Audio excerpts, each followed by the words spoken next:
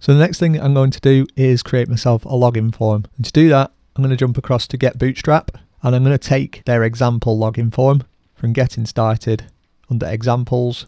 They have the sign in page. This should be good enough for what we want.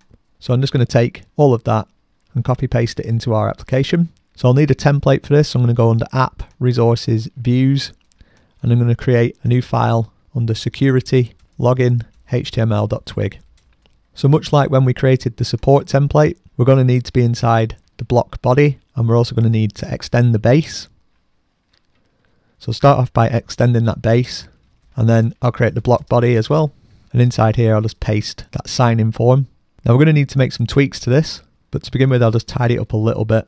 In fact, we're going to get rid of the remember me function as we're not going to implement that in this particular instance. But for the moment, that should be good enough to allow us to create a controller to actually display this login form. So go under controller, we'll create a new one called security controller. PHP Storm has such a weird habit of creating my files with the cursor right in the middle of the, the file. I'm not even sure why it does that. Anyway, app bundle controller is our namespace, and again, that's because we're in source app bundle controller. So we'll just have the class of security controller, which is going to extends controller from the framework bundle. And we'll have a public function, which we'll call login action. And we'll set up the route annotation to say route slash login with the name of login. We need to import that annotation, doesn't seem to want to.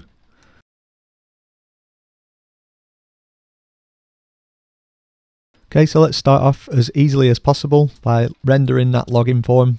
We don't have any variables or data as parameters to pass in to our template at this point. So for now, we're just going to pass in an empty array as our second argument. So we've got slash login, if we go to slash login now, let's see what we get. Okay, so that looks a little bit messy, but it's on its way. So let's tidy that up. So at the end of the previous video, I had this support index, which contained the container, the flash messages, and so on, some styles. Really, that doesn't work in this instance anymore. That was just a sort of a naive implementation. We probably want to reuse this container and this container styling as well. So I'm going to do is start by creating a, a separate style sheet under CSS, we'll just call it styles.css. Of course, you can call it literally anything you like. And from that index, I'm just going to take out that container style and paste that in there, which means I can go ahead and get rid of all that block style sheets because we don't need that anymore. And then I'm going to put this one level up inside the base. So I'm going to keep that block body. I might as well take all of that out for the moment. Paste that in. And then move the block body inside that container and then back inside our index. I can just get rid of all of that because now that's going to come directly from the base. Now we need to make this styles work.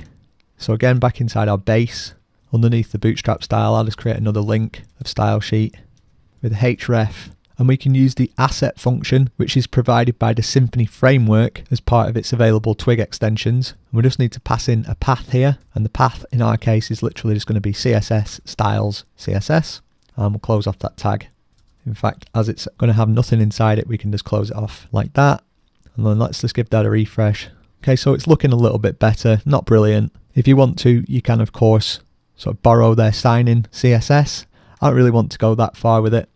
So under style CSS, I'm just going to go with a form sign in, which is the class assigned to that form.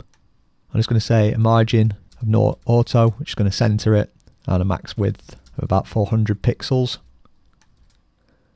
Uh, good enough.